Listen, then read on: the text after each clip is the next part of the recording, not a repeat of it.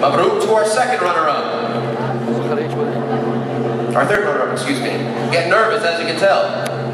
Our second runner-up, Miss Arab USA 2011 is... Excuse me, Hariri.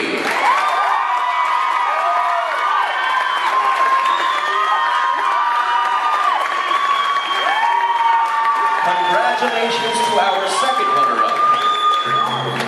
The final trumpet is about to sound, as we'll crown our queen. But before we do so, we must remind our top two contestants that if for any reason Miss Arab USA 2011 is unable or unwilling to fulfill her role as queen, the first runner-up will take over and bear the crown.